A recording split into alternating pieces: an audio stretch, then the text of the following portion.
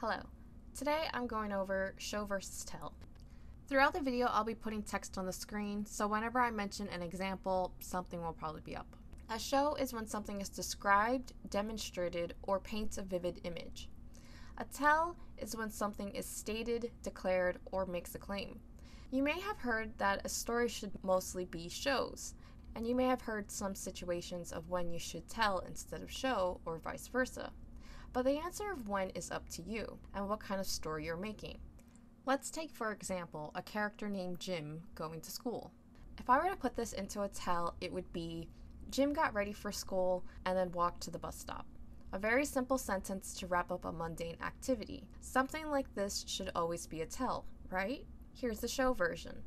Jim woke up after the fourth time his alarm went off. He slowly kicked off the blankets and rolled out of bed. The next door neighbors were already yelling, and Jim just wanted to go back to sleep. He walked over to the pile of clothes on the floor, sniffed the first shirt he found, and crinkled his face. It still has another use in it, he said as he put it on, ignoring all the small holes on his shirt.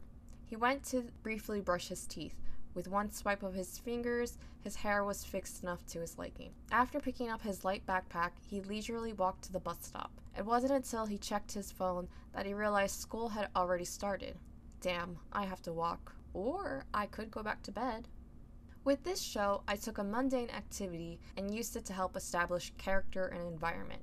You got a sense of the character from how slowly he was getting ready, wearing a dirty, smelly shirt, how he didn't care about basic hygiene. All those point to him being a carefree slob. You get a feel for the environment with a small detail of his neighbors yelling, which implies thin walls. How messy his room must be if he has a pile of clothes sitting on the floor. I started setting up that he's poor when you combine the thin walls, the shirt with holes, and the lack of parental figure around, along with him needing to walk to school. This show would be great at the beginning of the story to get a sense of what's normal to the main character, but this would be awful if it was in the middle of what's supposed to be an action thriller. I'm going to go over examples of both shows and tells from various books, and I'll pause a moment for you to try to figure out if it's a tell or if it's a show. From Bird Box, this was once a nice house in a nice suburb of Detroit. This is a tell. From John Dies at the End. I was pondering that riddle as I reclined on my porch at 3 a.m., a chilled breeze numbing my cheeks and earlobes and flicking, tingling hairs across my forehead. I had my feet up on the railing, leaning back in one of those cheap plastic lawn chairs, the kind that blows out onto the lawn during every thunderstorm. This is a show. Back to Bird Box. The children have never seen the world outside their home, not even through the windows, and Mallory hasn't looked in more than four years. Four years. She does not have to make this decision today. This is a tell. From House of Leaves I'm so tired. Sleep's been stalking me for too long to remember. Inevitable, I suppose. Sadly, though, I'm not looking forward to the prospect. I say sadly because there was a time when I actually enjoyed sleeping. In fact, I slept all the time. This is a tell. From Harry Potter As they entered November, the weather turned very cold. The mountains around the school became icy gray and the lake like chilled steel. Every morning, the ground was covered in frost. Hagrid could be seen from the upstairs windows, defrosting broomsticks on the Quidditch field, bundled up in a long moleskin overcoat, rabbit fur gloves, and enormous beaver skin boots. This is both a show and a tell. The tell portion is the sentence at the beginning. As they entered November, the weather turned very cold. Everything else is a show. Back to John dies at the end. Let's say you have an axe, just the cheap one from Home Depot. On one bitter winter day, you use said axe to behead a man. Don't worry, the man was already dead. Or maybe you should worry because you're the one who shot him. He had been a big, twitchy guy with veiny skin stretched over swollen biceps, a tattoo of a swastika on his tongue, teeth filled with razor sharp fangs. You know the type. And you're chopping off his head because, even with eight bullets in him, you're pretty sure he's about to spring back to his feet and eat the look of terror off your face. This is both. Let's say you have an axe, just the cheap one from Home Depot, On one bitter winter day, you used said axe to behead a man. Don't worry, the man was already dead, or maybe you should worry because you're the one who shot him. These are all tells. The rest are shows. Hopefully, you have a better understanding of what's a show and what's a tell, how they mix together, and how they can work and not work. On to the advice portion of this video. Most of the time, you want to show feelings rather than tell them. Which do you think is better? Susie is sad, or Susie had tears running down her face? Which do you think connects better to the audience? Being told Susie is sad, or being shown Susie is sad? What about with this example? Vin is in love, or Vin hummed songs as he was buying beautiful pink flowers for Jane. Do not be redundant with a tell followed by a show, most of the time. With my example from Harry Potter, J.K. Rowling had, as they entered November, the weather turned very cold, followed by her showing cold weather.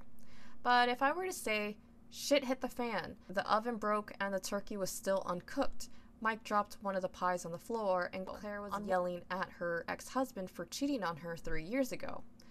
It becomes completely redundant to say shit hit the fan when you go on to explain how shit hit the fan in the next sentence. One reason why I think it's okay to be a little bit redundant, like J.K. Rowling was, was because she was writing middle grade stories and she was using that sentence as a transition. Another reason why it would be okay would be because of style, which I'll go over style in a different video. Choosing when and how to be specific. You could be thinking you're showing something when in reality you're just telling. Brandon Sanderson talks about the pyramid of abstraction in one of his lectures, where the top of the pyramid is abstract with vague wording and the bottom is concrete details. I'll link that down below for you to check out on your own. But for this little bit, I'm going to read from Gary Provost's book, Make Every Word Count. I know a girl who was attacked by a dog yesterday. I know another girl who was attacked by a Doberman Pinscher. Which dog can you see more clearly? The vague general dog or the specific dog? Which attack is more believable? In the case of the dog attacking the girl, I could say the dog was a black Doberman Pinscher with a broken chain dangling from his neck, blood on his teeth, one ear missing from a previous fight, and the letter L carved on his rump. All of this would etch a picture of the dog more deeply on the reader's imagination. This would be great if I were writing a description for the policeman who's got to hunt the dog down, but assuming this is a story or a newspaper report, the more I belabor the dog, the more it becomes what the passage is about. And I'm really trying to tell you about an attack, not a dog. So instead of going on and on about this angry beast, I try to create a sharply focused image with one or two specific words such as vicious or enraged. Still alone with her fears, Jennifer rose from the table, coffee cup in hand, and gazed out the kitchen window. Now, a window is a fairly general kind of thing, and I could show it to you much better by saying it was a stained glass window or a 3 inch window, or a window made out of old pickle jars. All of those things would make the window more specific. Unfortunately, they also make the window a freak, because windows are all pretty much the same. Unlike a dog, one window usually looks very much like another, stained glass windows, tiny windows, and windows that have little chipmunks painted on them clash with the reader's expectations. You weren't shocked to find out that the dog that attacked a girl was a Doberman, but you were probably so taken aback when you entered Jennifer's otherwise ordinary kitchen for the first time and found 82 pickle jars for a window that you probably forgot all about her fears, which were supposed to be the important thing. The takeaway from this, I would say, is be specific if you want to bring attention to it, if focusing on something plays a big role. I'll go to another passage from Gary Provost's book that talks about what being specific entails. You may have heard somewhere that if there is a gun on the wall in chapter 1, it should always be shot by the last chapter. That's not literally true, but the idea behind it is correct. If there is a gun on the wall in chapter 1, the reader should, by the end of the book, have some sort of idea why you mentioned it, but didn't, for example, mention the color of the rug. Maybe the gun will be used to shoot somebody in chapter 7. Maybe the gun is an expensive make, and you're trying to convey a sense of affluence. Or maybe you're trying to characterize somebody as having a, a gun collector's mentality. or the gun is the only object a young woman has that belonged to her father, or the gun is covering a button on the wall that opens a secret door. The gun certainly doesn't have to be fired, but there should be some reason why you put it in there in fiction or why you chose to mention it in nonfiction. My next advice would be keep descriptions short, describe the unusual, and be selective. People and things have an assortment of attributes you can use to describe them, but no one wants to read a list of things. An example from Bird Box this, Tom says, is the living room. We hang out a lot in here. Mallory turns to see his hand is gesturing towards the larger room. There is a couch, an end table with a telephone on it, lamps, an easy chair, carpet. A calendar is drawn in what looks like marker on the wall between framed paintings. The windows are covered by hanging black blankets. Although it's a short description, this is just a list. And people already have an idea of what a living room looks like, so the details seem extra boring. The interesting bits are the unusual things the calendar drawn on the wall, and the windows being covered by black blankets. Let's go back to the example from John Dies at the End. He had been a big, twitchy guy with veiny skin stretched over swollen biceps, a tattoo of a swastika on his tongue, teeth filled with razor sharp fangs. You know the type.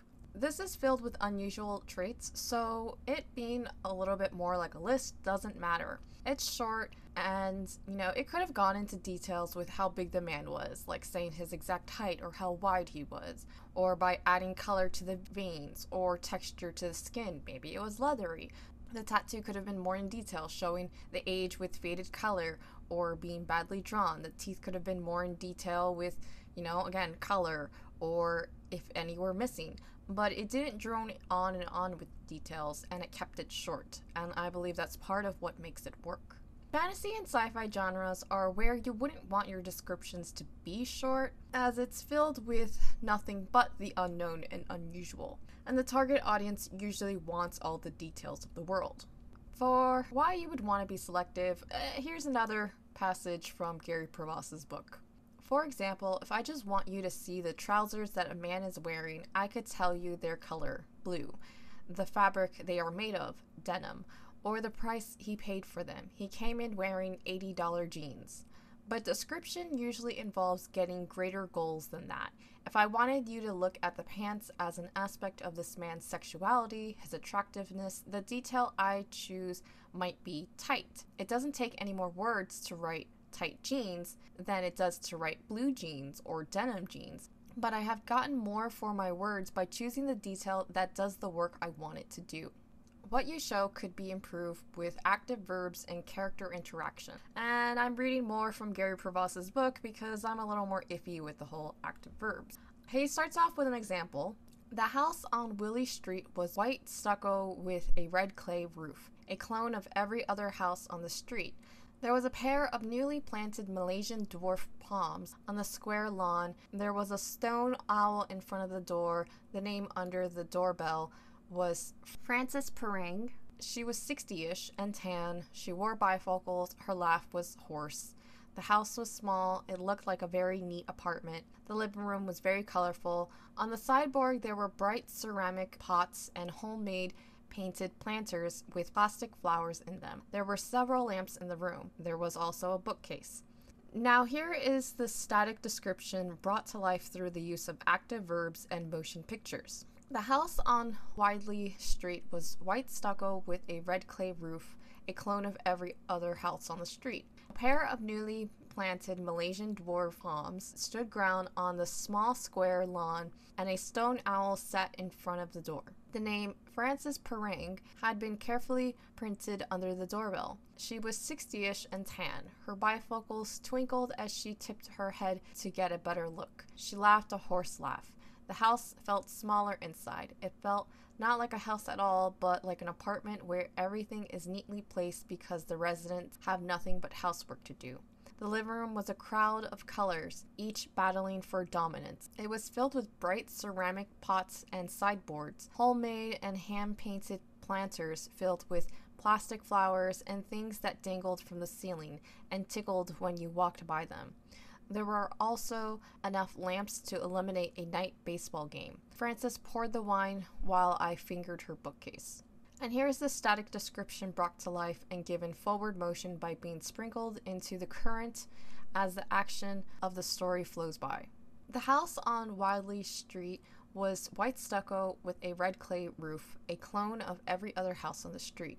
A pair of newly planted Malaysian dwarf palms stood guard on the small square lawn, and a stone owl sat in front of the door. The name Francis Perang had been carefully printed under the doorbell. She came to the door and peered through the screen. She was 60 ish and tan. Her bifocals twinkled as she tipped her head to get a better look. What do you want? She said in a voice so husky you could almost hear the Pollocks knocking together.